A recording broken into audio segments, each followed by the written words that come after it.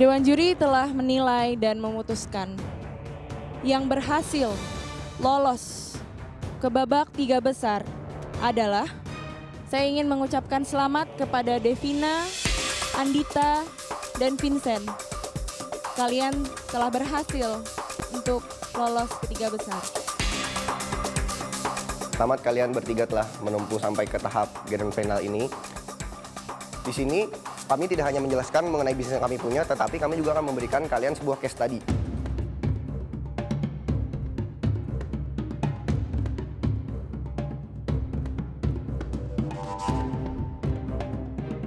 Penjuriannya cukup uh, ketat ya, uh, jawabannya cukup anal analitik sekali. Uh, mungkin karena memang dari proses seleksinya juga cukup ketat, mereka bertarung sehingga uh, kelihatan yang sudah yang terbaik yang masuk ke tiga besar ini.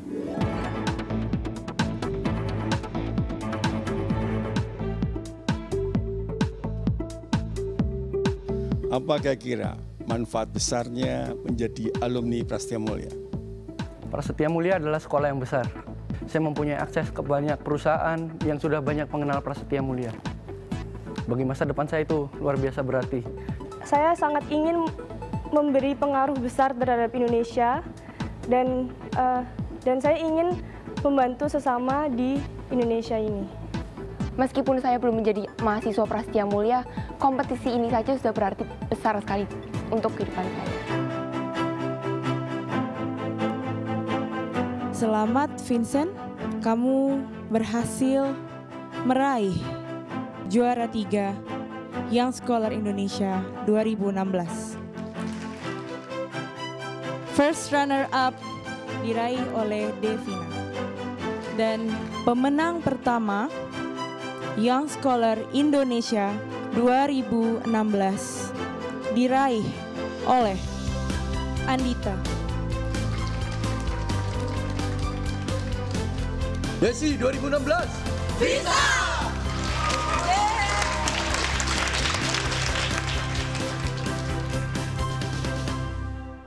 Yes, Universitas Prasetya Mulia, Mulia tidak henti-hentinya memberikan generasi atau ya generasi muda berkualitas dengan pendidikan yang oke, kemudian melalui beasiswa yang tentunya tidak henti-hentinya diberikan oleh Universitas Prasetya Mulia dan telah hadir bersama kami ada Profesor Joko Wintoro. Selamat pagi Selamat Bapak pagi, selaku Wakil Rektor Universitas Prasetya Mulia. Kemudian ada Andi Tarifanda sebagai pemenang dari alumnus SMA Negeri 3 Malang. Yeay, Oh, sekali ya. selamat dulu dong untuk Andita. Pemenang Keren yang, yang ini. Scholar Indonesia. Oke, Iya. kalau untuk eh, Pak Joko, Pak, sebetulnya program ini itu pertama kali dicanangkan tahun berapa, Pak? Kita kita mulai tahun 2007. 2007? Iya, Mm-mm. jadi secara teratur tiga tahunan kita selenggarakan uh, program ini. Mm-mm. Yang scholar hingga sekarang ini menjadi yang program keempat. Oke. Nah, mudah akan tetap berlanjut untuk di program-program berikutnya. Hmm, tujuannya apa sih, Pak? Kenapa kok dibuat ada dengar-dengar ini yang tiga tahun sekali ini dibuatnya seperti edutainment gitu. Iya. Sementara beasiswanya ya? sendiri juga tetap ada tiap tahun. Setiap tahun kita ada satu beasiswa prestasi dan Mm-mm. dia beasiswa untuk ekonomi lemah Oke. bagi mereka. Tapi kalau ini adalah mencari talent-talent yang lebih spesifik. Misalnya? Nah, contohnya adalah kita mencari ini untuk surat berkata 14 kota.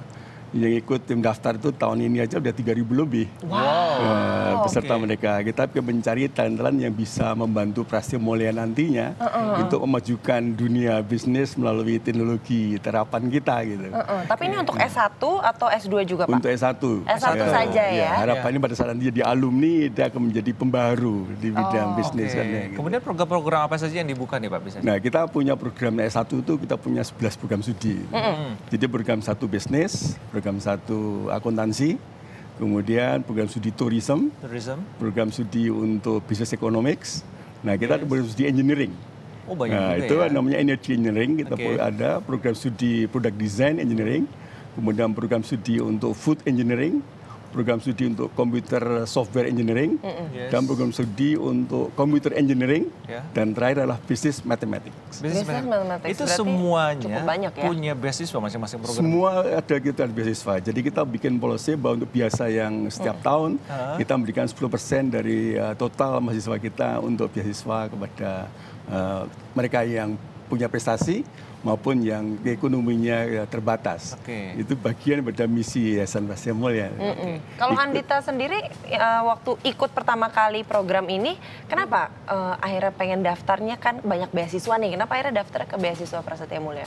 Eh, memang dari awal eh, saya tahu kalau Prasetya Mulia ini sekolahnya sangat bagus. Jadi saya memang sudah mau udah niat untuk masuk Prasetya Mulia. Oke. Terus saya cari tahu tentang eh, beasiswanya dan saya bertemu dengan program yang Scholar Indonesia ini dan saya melihat eh, video dari beberapa tahun yang lalu dan saya langsung jatuh cinta kepada program ini karena saya tahu kalau eh, program ini akan eh, membantu saya dan program ini memang benar-benar luar biasa. Persiapannya sudah cukup lama berarti ya. Nah, Iya. pilihannya apa pertama beasiswanya? Diambil program apa? Eh, saya ambil program manajemen. Pra manajemen ya. Ya. Manajemennya manajemen luas atau ada udah langsung dijuruskan Pak ininya? Eh, penjurusannya, beasiswa yang diambil Andita ini? Nah, kita ambilnya bisnis, Pak.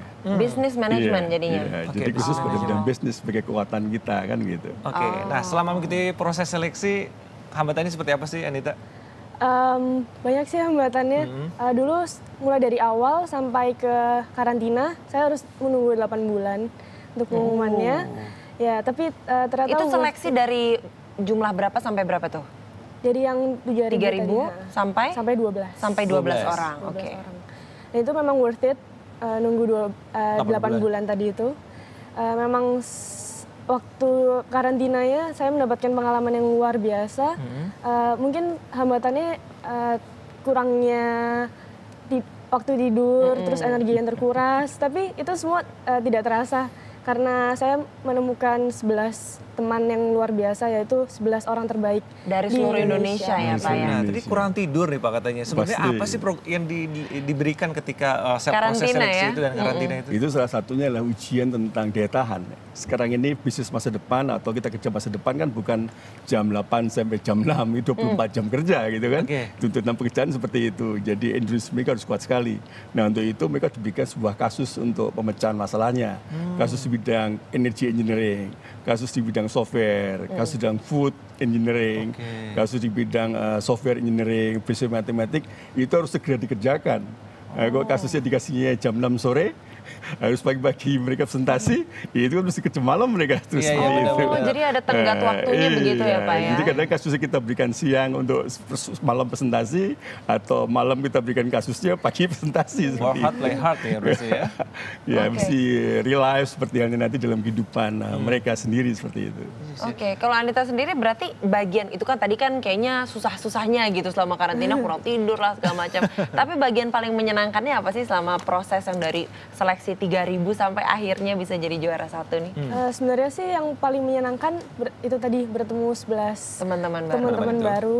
Dan eh, untuk tantangannya itu eh, sebenarnya memang sulit, tetapi apa ya sangat menyenangkan karena itu merupakan hal-hal baru yang saya temui di kompetisi ini dan saya tidak pernah eh, bahkan saya tidak menyangka kalau saya bisa melalui tantangan-tantangan tersebut. Oke. Dan itu memang membantu saya baik eh, untuk kuliah nanti wala- maupun ke depannya.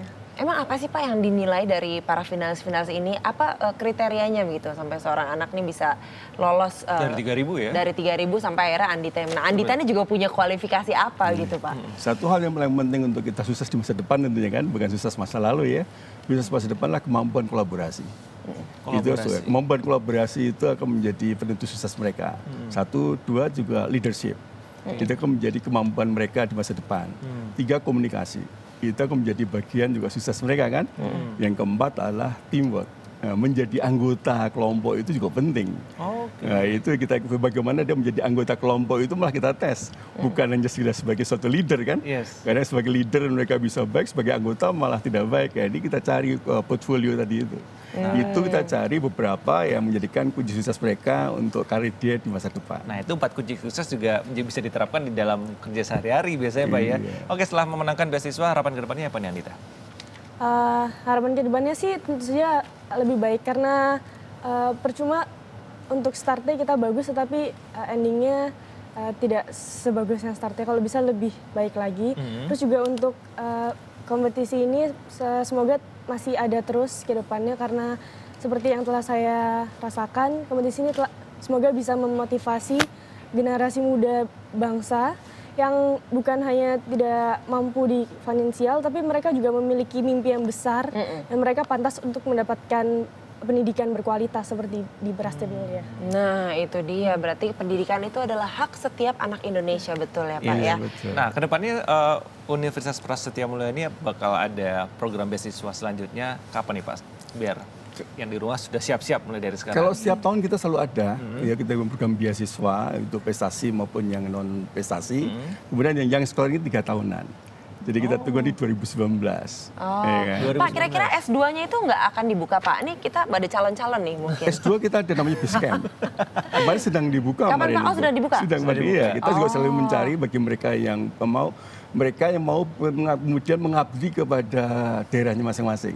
Yang Oh. kita cari seperti itu. Mereka Oke, di berarti sudah Mulia, diberikan beasiswa, mereka Nah, ada kewajiban, untuk kewajiban kembali. Hmm. untuk mengembangkan uh, kemajuan daerahnya sendiri. Itu syaratnya itu. Hmm, Jangan sampai mereka di Jakarta kemudian lulus di Jakarta juga kan gitu. Nah, itu namanya kacang lupa pada kulitnya. Lupa daratan kacang pada kulitnya ya. ya. Oke, ini kalau ada yang mau me- menyaksikan bagaimana serunya yang sekolah Indonesia nanti akan tayang ya, Pak di Net TV. Oh iya. Di YouTube-nya Net TV, YouTube tanggalnya nanti akan kita infokan berikutnya ya. Seru ya perjalanannya.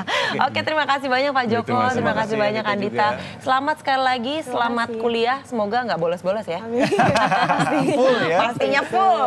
Alright, dan selanjutnya ada Mas Febri yang akan memotret transformasi desa Wonocolo, Bojonegoro, Jawa Timur untuk Anda. Nantikan informasinya sesaat lagi.